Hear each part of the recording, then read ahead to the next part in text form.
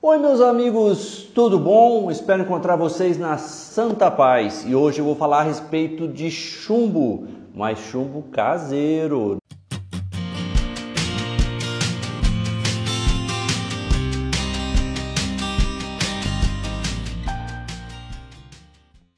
Oi, meus amigos, tudo bom? Como que vocês estão? Então hoje eu vou falar a respeito de chumbo caseiro. Mas primeira coisa, primeiro eu vou mostrar aqui a caçadora, né? A caçadora, essa caçadora ela tem um cilindro regulado, esse cilindro está regulado para 40 joules e o cano é de 4,5 milímetros. Então, essa caçadora aqui ela é uma devoradora de chumbo, ou seja, você gasta muito chumbo. Só que ela gosta de usar chumbo pesado, tá? E acaba que chumbo pesado aqui no Brasil é muito difícil de achar, é um absurdo. E quando você encontra é caro e quando você importa também fica caro. Então, ao longo dos tempos, eu resolvi fabricar os meus próprios chumbos e deixando bem barato o tiro com ela. Então, hoje eu consigo fabricar chumbos de 1 grama no 4,5 milímetros que eu utilizo nela e não deixa nada a desejar para os chumbos importados, tá? Os chumbos fabricados em indústria. Então é muito fácil, muito simples e vou contar alguns detalhes para vocês. Vou mostrar para vocês como que eu fabrico, como que eu faço, como que eu não faço e vocês vão gostar. Bom, isso aqui é minha estação de trabalho, tá aqui minha estação de trabalho, isso aqui é a minha forma.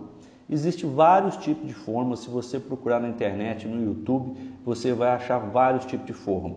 Mas essa forma aqui é uma forma de prensa, é uma prensagem. Você dá forma ao chumbo na pancada, isso mesmo, na pancada, na martelada, você dá forma no chumbo, tá? Isso aqui é para você fazer a saia e isso aqui é para você extrair o chumbo.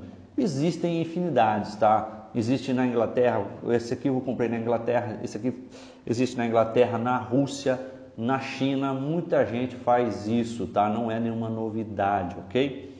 É, e como que eu vou colocar esse chumbo aqui? Gente, vou te explicar uma coisa para vocês. Há uns dois anos atrás, eu comprei essa coquilha aqui. Eu gosto muito de atirar de estilingue, está aqui meu canivete, que é um canivete de sobrevivência, que é um estilingue também.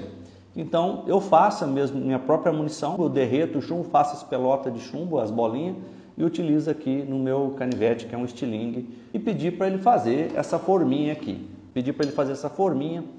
Então tá aqui, ó. Como vocês podem ver. Só que qual é o inconveniente?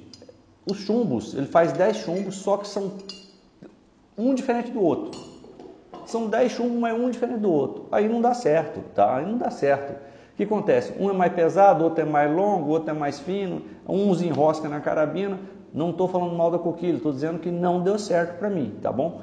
Pode ser que ele fabrique hoje em melhor qualidade e tal, eu acredito que sim, mas para mim não deu certo. O chumbo ficou comprido, alguns ficaram com rebarba, ficaram feios e acaba não saindo legal, tá?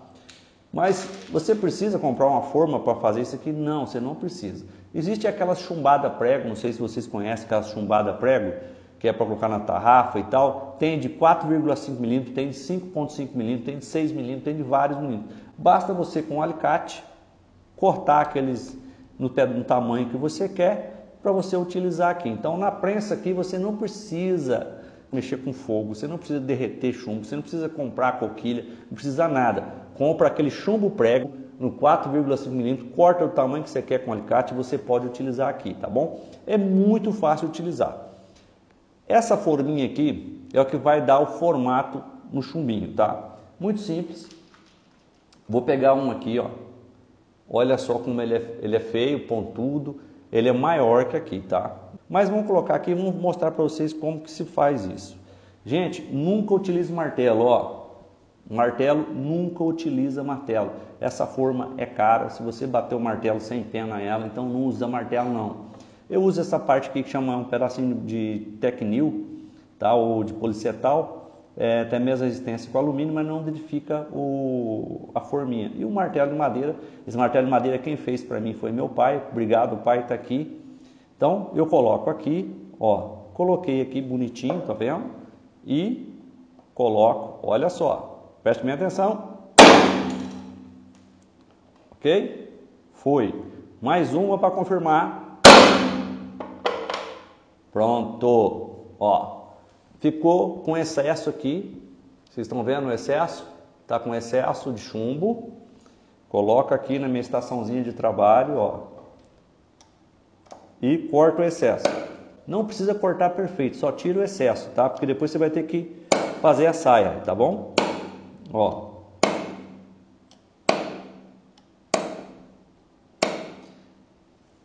Cortei o excesso, tá vendo aqui? Cortei o excesso, não tem excesso mais. E agora eu vou fazer a saia do chumbo. Olha que bacana como se faz a saia do chumbo. Ó, coloca aqui. Ele vai ficar bem centradinho, vai ficar bonito a saia do chumbo. Coloca aqui, ó. Ó.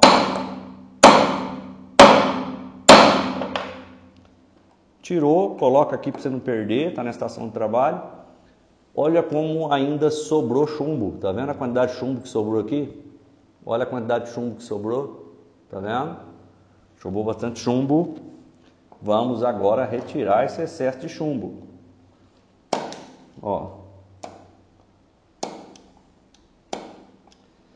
É bom sempre ter uma lima do lado, uma lima para você estar tá molando, tá? Porque o chumbo acaba com o fio do canivete, tá? Então tá aqui. Tirei. Olha só aí a saia.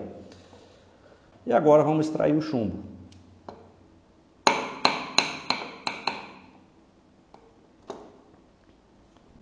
extrair o chumbo. Olha que bonitinho que ele ficou.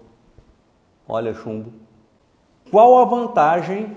Qual a vantagem de você utilizar essa forma de um chumbo só? Se você fizer 2 mil chumbo, 10 mil chumbo, 50 mil chumbo, todos eles vão sair igual. Todos os chumbos vão sair iguais, porque ele é feito na prensa, todos eles vão ter o mesmo peso, todos eles vão ter a mesma circunferência Sempre lembrar de colocar um pouquinho de óleo, pode ser qualquer óleo para ele entrar fácil e sair fácil da forminha. E tá aqui mais um chumbo pronto. Aqui desse lado eu estou colocando os prontos, tá? E esse outro aqui que eu ainda vou trabalhar, tá bom? Todos esses chumbos pesam 1 grama. Meu custo de produção a cada 100 chumbos eu gasto aproximadamente 17 reais, tá? É um custo-benefício muito bom. Tá? Vale a pena sim ter uma forminha dessa. Essa forma ela foi importada, ela chama Kit Nomad, ele é feito na Inglaterra. Porém, quem desejar, quem desejar encomendar, entre em contato com a gente aqui na CO2 Brasil, que a gente vai colocar em produção por encomenda a um preço muito mais em conta, tá? Porque vai ser feito aqui no Brasil, vai ser desenvolvido aqui no Brasil vai junto com a estaçãozinha aqui, tá? Vai com um porretinho também, não vai com esse porrete aqui, mas vai com um porretinho também e vai com a estaçãozinha de trabalho aqui bem feitinho para vocês mesmo. E a gente vai fazer sob encomenda, tanto no calibre 4,5, no 5,5 e também no 6 milímetros. Então, quem desejar chumbo pesado, pode entrar em contato com a gente, entre em contato com a Sandra e fala, eu quero encomendar. E pode encomendar com a gente aqui a forminha que a gente vai produzir para vocês, tá bom? Outro detalhe é o seguinte: com essa forma aqui você consegue fazer cinco tipos de chumbo. Isso que é o mais interessante. Você não vai ficar apenas você não vai ficar apenas nesse chumbo aqui. Você vai conseguir fazer outros modelos de chumbo é, ou munição, vamos dizer assim, tá bom? E vou mostrar isso com o tempo para vocês. No caso aqui é o 4,5, mas nós temos um 4,5, 5,5, 6 milímetros e até em calibres maiores se vocês desejarem, tá bom? Bom pessoal, espero que tenham gostado desse vídeo. Muito obrigado, até a próxima e vou colocar umas fotinhas aqui no final para vocês verem todos os chumbos que eu fiz hoje, tá bom?